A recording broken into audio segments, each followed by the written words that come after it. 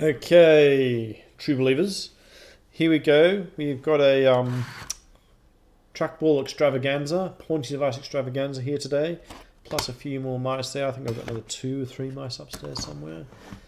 Yep, been kind of collecting here a bit. And I'm going to try and run through and tell you what's good and what's not. So let's get right into it. it goes pretty fast, so we try and jam it all in as really quick stop where you want. So this is an Elecom MHT1 DRBK, but it's called the Elecom Huge. I call it that because look at this box. This is a nice box. I think this is a nice box. I'm keeping this box because this tab right here doesn't look nice. That's what it looks like inside. Uh, very nice box. Huge. Comes as you see with the dongle approach. This doesn't have Bluetooth. The mouse, the trackball Ergo Logitech MX Ergo does. We'll come to that a bit. No, it's got both the mouse and the dongle. I've just got the dongle. I like dongles. You ask me why? Because when you want to start up a computer from scratch and the Bluetooth is turned on, or you want to do it in the BIOS, you want to select a hard drive or a different OS, who knows if that Bluetooth is going to work or be on.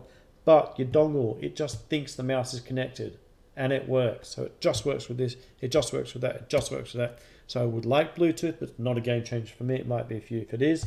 The Elecom does make another one. I believe it is. Um, there. Well, they do. I just can't see here right now. Anyway, um, buttons. They say it has eight buttons, I believe.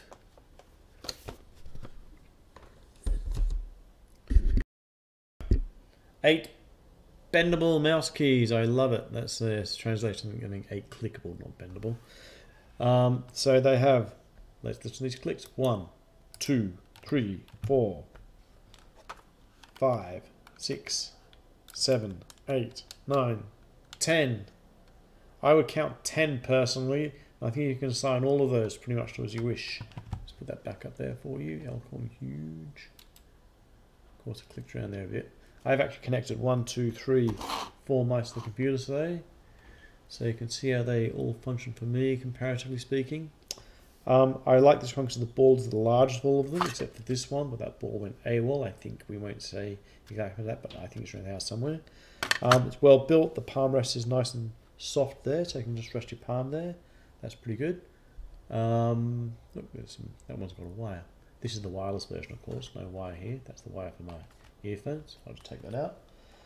Um, so yeah, it's a really nice mouse. And a few other little features here. It's got a switch here. You can change the DPI. Let's go forward there. If I can't find back where that was. So this means I can go like this. Slow, medium, super fast. So not going anywhere else, I can just click that there and change tasks. Now, one of the problems, and this is here is for transmissions as I understand it, that's for a higher and low transmission, and you can push the ball out. Um, just to show you, coming out, there it is, very large ball, it feels nice and weighty. And if you notice, this one actually does fit in there. It runs super smooth. Look at that. It's a bit smaller than that one though, there's a bit of clearance. Haven't tried that, I don't really have time to try that right now. Um, nor do I really want to. I don't really like taking the ball out much. There was three little ruby points in there that you can't see. There's two black, you wouldn't be able to see if I showed it to you. This is well made, it clicks well, but I'll show you one of the ergonomic problems. Look at this one here. This one actually went up in price. If I find that for you, that's the FX. Optical TrackMan cordless, there it is there. Yeah, that's gone up quite a bit. Um, look at the ergonomics of this for a moment. You here can put your thumb from there to there without moving. Click, click, click. It rests on that point for all of those buttons. And this has got a really good hit point. That's just one button, your left click, there's my hit, there's my main click. You can see how much I've used that and worn it all the way. This one, however, your thumb sits kind of down there. I mean, it kind of hits it, but then you've got to move up to there. That means for me, for my taste, it's resting too far down. I kind of see why they did it, because I want your thumb resting over there. But the solution was to put the scroll wheel here. Why they put the scroll wheel there, I don't know. I think they just probably thought it looked good from the art department. But yeah, look at that. It looks so cool. We'll go with that one. This one has a superior button out, superior button layout. One, two, three, four. You don't have to move anywhere. You can get everything. This finger is ready to go for that. And you've got extra buttons there. So and the hit point there is much better. So this is a better button layout, I have to say. However, this is a large ball, so I like that. This, of course, was the best because it kind of mixes that and that, but it lacks a track wheel, which is a problem. But the thing that this does have is it had a you can hold it on both sides. Whether you like the thumb, you like the forefinger, you can have both, and you kind of operate in 3D. It is fantastic. But yeah, the scroll wheel is a bit of a killer. So I'm showing you all of these together so you get some comparative feel rather than just one at a time. Um, it takes two batteries on the bottom. The battery never run out for me. Got that nice optimistic 80s to 90s huge script, which I like. Um, but it operates very well and very smoothly. The software, a little bit hard to use, a little bit hard to find from a Japanese site. I think this is a Japanese design um, trackball, but it is a nice product. I put a high-res photo there.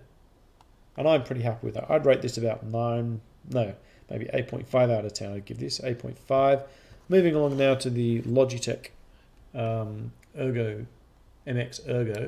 This has come down in price a bit recently. I'm not a big fan of the under the thumb one, just under the thumb. The reason is I think the bones and bones there will have a problem. You actually get a particular thing, uh, de Quervain's sinotendinitis.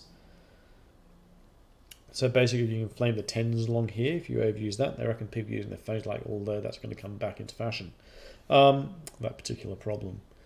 What this does have is got, let's count those buttons. One, two, three, four. That's kind of not a button, that just collects to two different computers. Five, five, six, seven. And it's got the feature here where you can roll the whole thing up and down like that, which is pretty cool.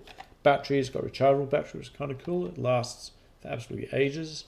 Uh, give you a good look around all angles, because don't you hate it when they just want you to show something? Yeah, I'm one of those people. I don't take the plastic off. I will. Okay, let's do it. Let's do it. Ooh, I really want to do this. Oh, look at that. Ah, I'm looking there's another layer. Will it rip? The things I do.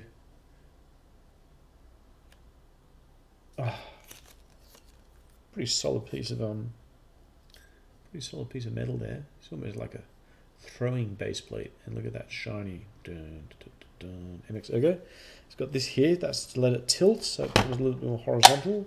So it kind of supinates the radius in the ulna. The idea being when it's like that, your radius in pronation, your radius all crossed, And say you're more open to RSI, repetitive strain injury, that's supposed to be less, and it's going to go towards vertical.